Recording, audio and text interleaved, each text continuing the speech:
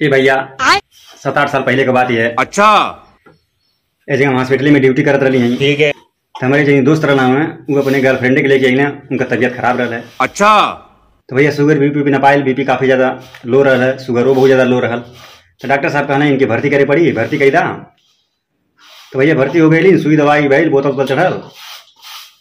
तो अंतिम में जब दवाई लिखी भैल तो डॉक्टर साहब पूछा था क्या सुबह में नाश्ता वास्ता की थी? तो कहते हाँ नाश्ता सर जी किए थे। खाना क्या की थी? तो कहते हैं कि चाय और बिस्किट खाए थे। तो कहते हैं चाय और बिस्किट नाश्ता होता है? हाँ? बताओ तुम लोग मेडिकल की पढ़ाई कर रहे हो और तुमको पता नहीं है कि नाश्ता क्या होता है। कहता, भैया दवाई ववाई दे के वो भेज देना। हमसे पूछा था हाँ? जी तुम बताओ नाश्ते में क्या क्या होता है?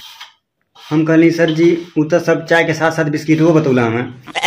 हम तो खाली नाश्ता में चाय जानते रहली। तो कहत हमें कि देखो नाश्ता में बहुत कुछ होता है। अच्छा। है? चाय और बिस्किट और ब्रेड सिर्फ़ नाश्ता नहीं होता है।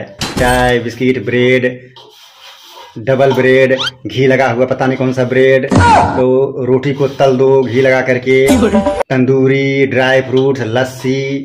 अरे ये इतना सामान बतूला है कि उतना तो हमन का चार दिन का खाना नहीं होला।